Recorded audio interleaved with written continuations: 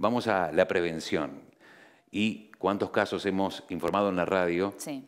Y también aquí en Informales de muertes por contaminación con monóxido de carbono, ¿no? Sí, a veces no llegan a muerte, pero sí intoxicación, Edu.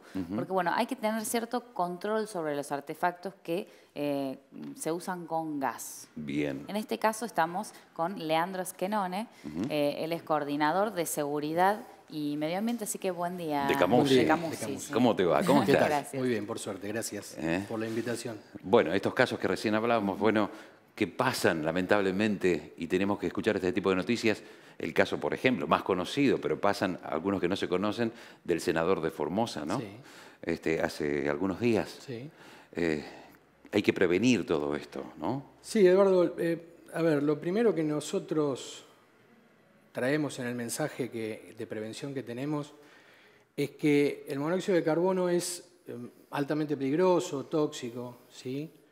Y, y puede evitarse el accidente con monóxido de carbono de, manera sencilla. El, el monóxido no es un producto que aparezca mezclado con el gas natural, en este caso, o con cualquier otro combustible, sino que aparece a partir de la mala combustión de ese combustible. Gas natural, leña, carbón, gas licuado en garrafa, el que sea.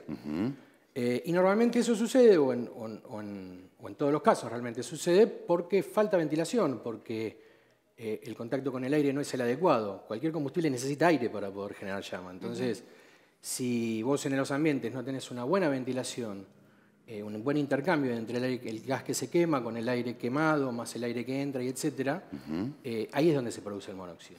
¿sí? Es en el- todos los casos es apro- aproximadamente similar.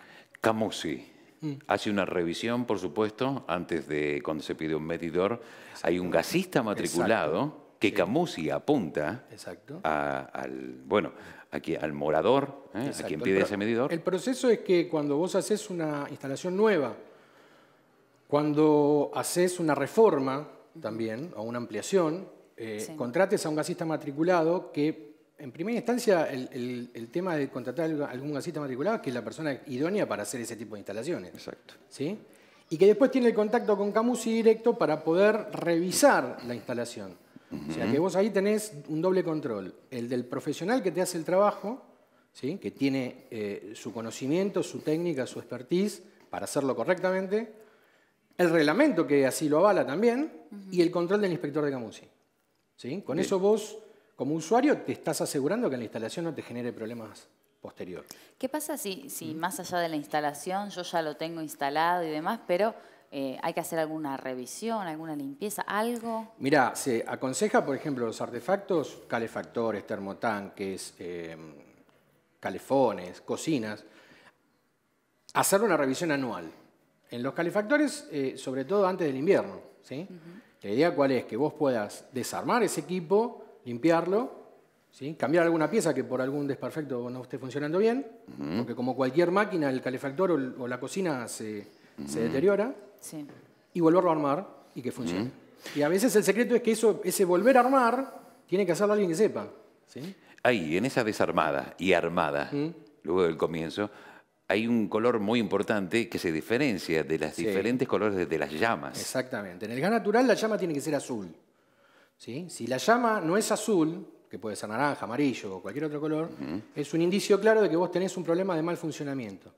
Si hay mal funcionamiento, vas a formar monóxido, se va a formar monóxido en algún momento. Lo mismo, por ejemplo, en las cocinas, si vos encontrás las pavas o las ollas con tizne en la parte de abajo, o en las paredes, al atrás de los calefactores también, la pared tiznada, eso significa que el artefacto está quemando mal.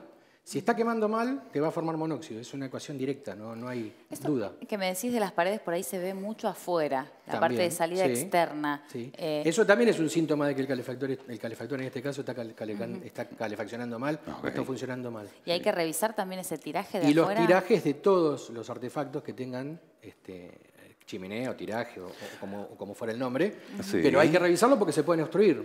A ¿sí? veces, Nicela, y bueno, esto se ve, eh, se forman como nidos. Sí, señor. ¿eh? Eh, en la salida, en los sombreros que uno ve afuera. Eso también hay que revisar sí, todo. Sí, señor. En- En un calefón, un termotanque, cuando vos tenés el piloto, la, la- la llama calienta la chimenea y en la parte de arriba el el pájaro puede hacer un nido tranquilamente porque está caliente y resguardado. Sí. Hace, hace un par de años tuvimos aquí en Olavarría, quizás lo recuerden, el caso de tres chicos que eh, por inhalación de monóxido de carbono, bueno, uno quedó en, coma, dos fallecieron, habían alquilado un cuarto para pasar el fin de semana aquí en Olavarría, en el barrio seco, ocurrió esto, por falta de ventilación. Sí, señora. Eh, ¿Qué pasa con la ventilación de los ambientes? Mira, en los ambientes vos lo, que tenés que asegurarte, sobre todo en los ambientes donde tenés eh, artefactos abiertos, ¿sí? de cámara abierta se llaman, o, la cocina, que las rejillas que vos tenés en las paredes estén libres, no estén obstruidas. A veces se ve que inclusive se les pone este, marchimbre adelante de las paredes como para tapar, y eso hace que no haya intercambio de aire. También es cierto que a veces hay gente que los tapa porque entra frío, pero el taparlo implica que el gas quemado no salga o que el gas se queme de forma incorrecta. Eh, y lo mismo en cualquier tiraje, como te decía antes. Eh, todo lo que es salida de gases ¿sí? tiene que estar libre. Y en el caso de los calefactores, por ejemplo, el tiro balanceado, que son los que van en las habitaciones, vos tenés dos cañerías, una que entra aire y otra que sale. Entonces las dos tienen que estar desobstruidas, porque si están tapadas, eh, termina generando monóxido. ¿sí? Puede haber contacto con o no con la habitación, pero es importante que eso funcione como corresponde. ¿Cuál, ¿Cómo y dónde son los lugares adecuados para instalar un calefactor, un termotanque? Bueno, la cocina, en la cocina, ¿no? ¿Cómo y dónde? A ver, yo te lo voy a decir al revés. Si vos querés un calefón o un termotanque en un baño no lo podés instalar. Bien. ¿Sí? Porque son, son ambientes muy pequeños en donde se va a consumir una gran cantidad de gas, por ende se va a consumir una gran cantidad de oxígeno en muy poco tiempo y va a generar monóxido seguramente. En una habitación necesitas un artefacto de tiro balanceado siempre, porque como es cámara cerrada, eso no tiene contacto con el interior de la vivienda, entonces evita que si se forma monóxido entre. Y después, en un comedor, eh, en una cocina muy amplia, vos podrías poner un calefactor y una cocina inclusive, como obviamente, pero siempre con una ventilación, y con la ventilación inferior y superior, ¿sí? y desobstruidas, siempre libres de que el aire circule. O sea, aproximadamente sería así. Eh, los termotanques vos los podés poner, eh, según lo que diga el reglamento, en general se, ponen más en gabinetes externos por un tema de mantener estas condiciones también. Eh, se ha visto mucho, muchos termotanques o calefones en las cocinas y es reglamentariamente apto. Lo que pasa es que tiene que haber siempre el intercambio y la rejilla que vos tenés tiene que estar adecuadamente instalada y libre. Si esa rejilla no está libre, lo que va a empezar a formar es monóxido por mala combustión.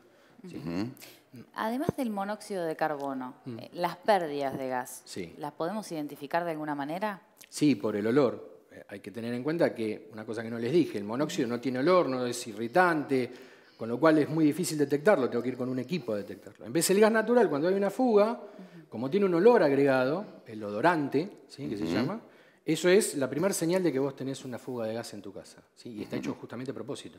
La idea cuál es, que cuando vos sientas ese olor, automáticamente eh, no apagues ni prendas las luces, no generes ninguna fuente de, calor o llama y llames al gasista. ¿sí? Dejes de utilizar este, los artefactos y llames al gasista para buscarla, de que ventilen también.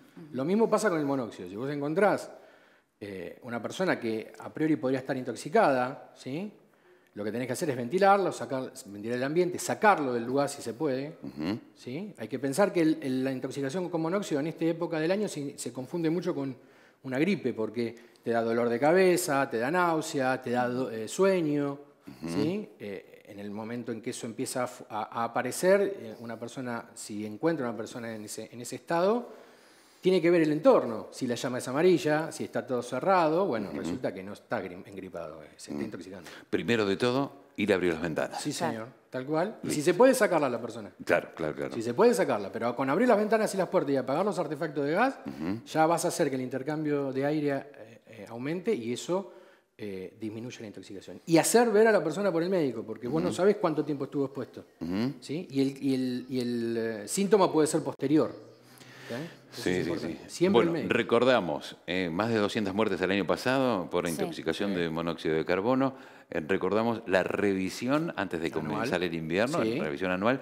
Y, ante esto tengo una pregunta. Eh, Camusi habilita, ¿no? Porque va, revisa lo que hizo el casista matriculado, habilita la morada, bárbaro, fantástico. ¿Hay un control anual o Camusi se basa por alguna denuncia? Estoy sintiendo olor a gas, no sé qué me pasa, o hay anual o, bianual de ese lugar. La, la, revisión es, como yo te decía antes, por alguna modificación o por alguna denuncia, como vos decías. O por algún eh, pedido, por alguna situación puntual. Específico. Eh, hoy por hoy es así, ¿sí? De todas maneras, cualquier duda, el, el, vecino se puede acercar a Camusi y se puede hacer una revisión en caso de que él lo necesite. claro, claro, eso se pide y no, no, hay ningún problema. Y tengo otra duda más porque también eh, en este momento que, ocurrieron estas muertes y demás, comenzaron a aparecer unos aparatitos mm. que supuestamente, digo supuestamente porque no lo sé, eh, detectan el monóxido de carbono en el aire y suena una alarma. ¿Esto existe, no existe? ¿Lo ponemos en casa, no lo ponemos? Existir existe. Yo como hombre de prevención te diría que antes de tener de comprar el equipo, primero me aseguraría de que esto que te digo, que las ventilaciones estén eh, libres, que los artefactos funcionen bien. El detector, como eh, reaseguro, si querés tenerlo, no estaría mal. Eh, sí tiene que ser un, artefacto que esté certificado por el IRAM, perdón, por el por el Enargas, igual que cualquier artefacto. ¿sí? El Enargas te tiene que haber dado una matrícula para que vos lo puedas instalar. Si eso no es así, ya tenés un reaseguro menos. Entonces, lo importante yo creo es que mantener la instalación como la, como la hizo el gasista y como la provoca Musi, pensando en esto que te decía, la ventilación permanente. Eh, no es cuestión por ahí de abrir las ventanas de par en par, pero, pero sí de mantener las ventilaciones que van fijas y las condiciones de salida de los, de los caños de salida, de las cañerías de salida, en buenas condiciones y con eso vos reducís muchísimo los riesgos. Gracias, Leandro, por, venir. Es un placer. ¿eh? Y a tener en cuenta mucho ¿eh? estos consejos eh, de Leandro de Camusi, porque así se evitan fatales, cosas fatales.